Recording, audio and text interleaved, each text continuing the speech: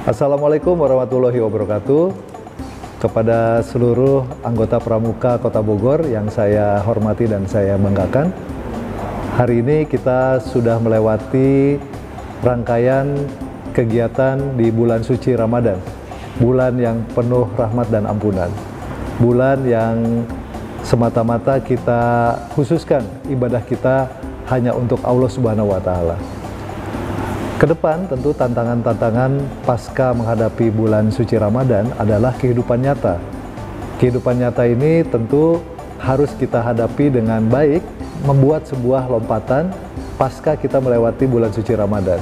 Nah, apa goals dari ibadah kita di bulan Ramadan ini adalah menjadikan diri atau individu kita menjadi lebih baik lagi. Salah satu nilai yang tertinggi dari sebuah uh, nilai manusia adalah seseorang yang memiliki integritas. Apa integritas itu? Integritas adalah sebuah ilmu yang sangat tinggi. Ilmunya dewa kalau orang-orang katakan.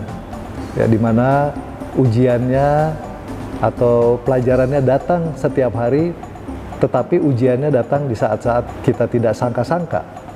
Nah, oleh karena itu, bagaimana memperkuat integritas harus ada ujiannya Nah, nilai-nilai integritas sendiri ada kurang lebih sembilan nilai yang harus kita miliki. Yang pertama adalah nilai kejujuran. Ya, itu nilai pokok dari integritas. Kemudian yang kedua ada nilai kepedulian. Bagaimana kita peduli terhadap lingkungan, bagaimana kita peduli terhadap sesama, bagaimana kita peduli terhadap tetangga misalnya. Ya. Kemudian juga dari semua nilai tadi kita juga harus memiliki kemandirian. Seseorang yang uh, mempunyai nilai integritas adalah orang yang mandiri. Dia uh, memiliki kemampuan untuk memiliki kemampuan untuk ya menghidupi dirinya sendiri, keluarganya dan lingkungannya. Nah, kemandirian ini penting. Dari mana? Dari pendidikan, uh, dari pengalaman spiritual, uh, dari pekerjaan yang dia bangun, kemudian dari hal-hal lain yang positif yang kemudian menciptakan individunya menjadi individu yang mandiri. Kemudian uh, tentu kita juga harus punya tanggung jawab. Jadi tadi jujur, peduli, mandiri, kemudian tanggung jawab, ya itu juga penting. Uh, jadi setelah kita melewati masa uh, bulan suci Ramadan, kita harus menjadi orang yang lebih baik, orang yang bertanggung jawab. Ya kemudian juga selain jujur, peduli, mandiri, tanggung jawab, kerja keras, ya itu sangat diperlukan. Kemudian kesederhanaan, ya keberanian serta keadilan.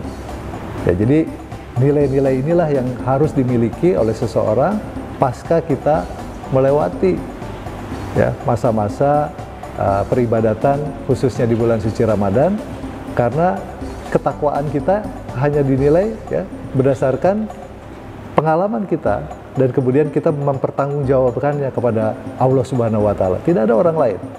Ya, jadi uh, manakala kita haus ya, kita kemudian tidak minum ya semata-mata karena Allah padahal tidak ada orang lain di sekitar kita. Nah, jadi itulah nilai-nilai yang harus kita miliki ya, nilai-nilai integritas yang harus menjadi basic uh, seorang muslim untuk kemudian uh, memiliki reputasi sehingga dia betul-betul uh, bisa meneladani ya menjadi teladan bagi sekitarnya menjadi dari menjadi teladan untuk lingkungannya dan khususnya bagi seorang uh, anggota pramuka ya harus memiliki nilai-nilai integritas. Intinya ya bagi seorang pramuka tentu harus menjadi teladan bagi dirinya sendiri dan lingkungannya.